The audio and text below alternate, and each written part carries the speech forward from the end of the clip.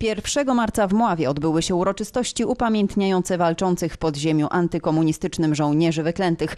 Również w Mławie znajdowało się miejsce, w którym bohaterowie doświadczali okrucieństw, które omijano szerokim łukiem. Siedziba UB przy ulicy Rejmonta.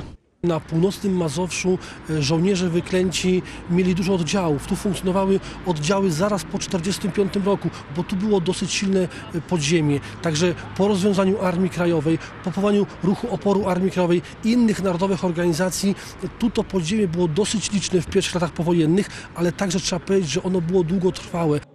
Głównym punktem muławskich obchodów była msza święta w kościele pod wezwaniem Matki Bożej Fatimskiej.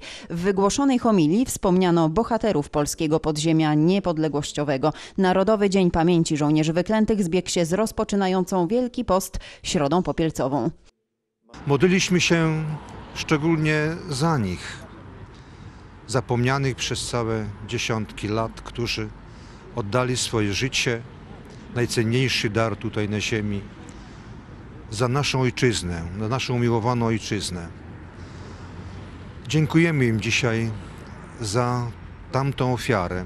Narodowy Dzień Pamięci Żołnierzy Wyklętych obchodzony był już po raz siódmy. Święto poświęcone pamięci żołnierzy antykomunistycznego i niepodległościowego podziemia ustanowiono na mocy ustawy z dnia 3 lutego 2011 roku.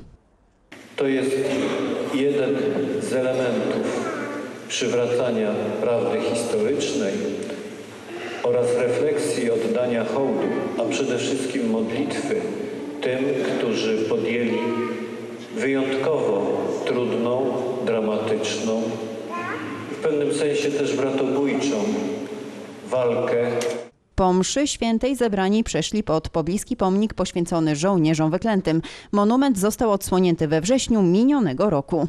To bardzo ważne przedsięwzięcie dla nas wszystkich. My czcimy pamięć o różnych wydarzeniach, ale przede wszystkim o ludziach. O tych radosnych, ale również o tych smutnych, dramatycznych. Dzisiaj pamiętamy o żołnierzach wyklętych, naszych, muławskich, polskich żołnierzach wyklętych, bo tacy byli tutaj na tym terenie, działali. To właśnie im pod pamiątkowym głazem delegacje złożyły kwiaty i zapaliły znicze.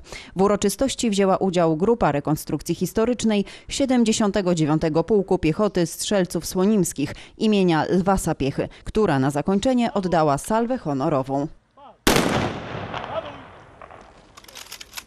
Brawo! Pal!